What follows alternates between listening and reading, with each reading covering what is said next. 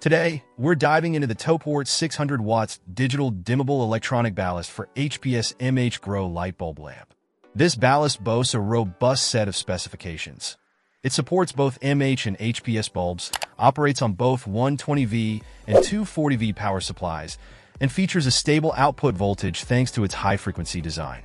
Safety is clearly a priority here, with features like minimal total harmonic distortion, THD percent, high power factor, and automatic power shutoff for short-circuit protection that I in terms of performance. The TOPHORT ballast impresses with its fast lamp ignition, lighting up bulbs within 1 to 3 minutes maximum.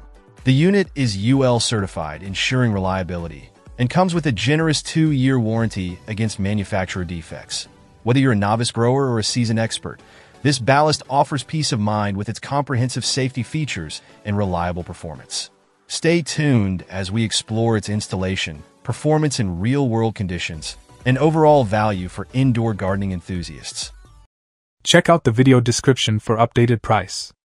And thank you for watching this video.